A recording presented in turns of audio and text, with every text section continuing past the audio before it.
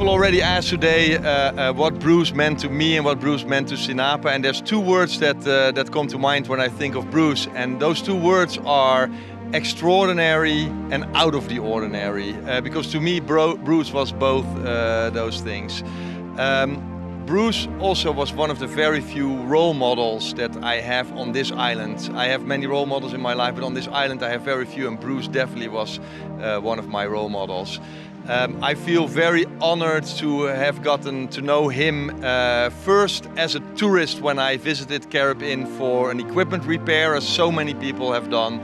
Then as a dive operator, a nearby Carib Inn, uh, becoming colleagues and uh, helping each other in our businesses and him especially helping me in my business. And then as a STINAPA board member, uh, uh trying to uh, do something good for Bonaire's Reef and Bonaire's nature together.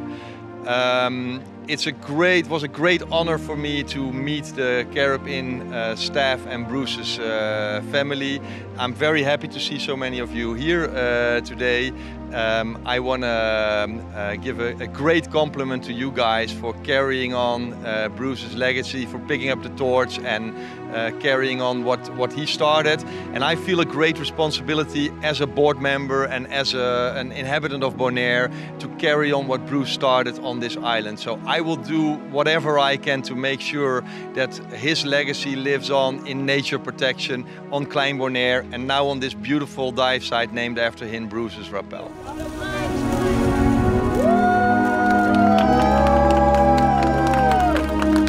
And thank you for this beautiful tribute today. This is very, very special.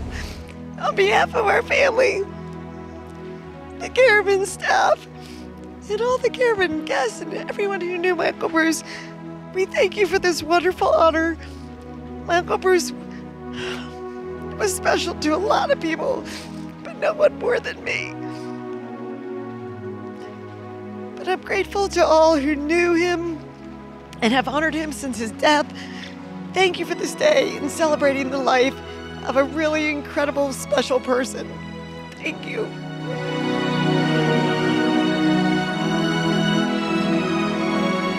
I thought it was perfect. It, was just perfect. It was nice, it was low key.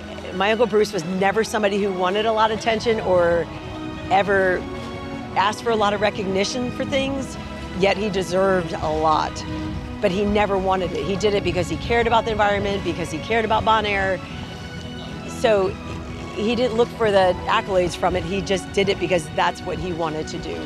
So this island has been very special to him for so many years. I mean, since the early 70s that he had been coming here, this has been a very special place for him, you know, and he definitely champions Bonaire and always looked out for it and cared so much about the island, the people. Yeah, so today was a very, very special day. Bruce had an incredible impact. Um, for people that don't know, how can you describe this impact?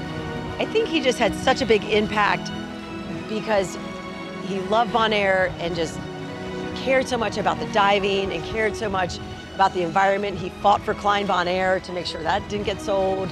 You know, he just really went to bat for the island and, and did everything he could. He would do cleanups on the weekends to, you know, keep Bonaire clean and just really loved the island, hated all the development and whatnot, but, you know, accepted it.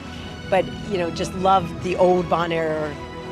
and it was just always his heart. I mean, he this is where he wanted to always be.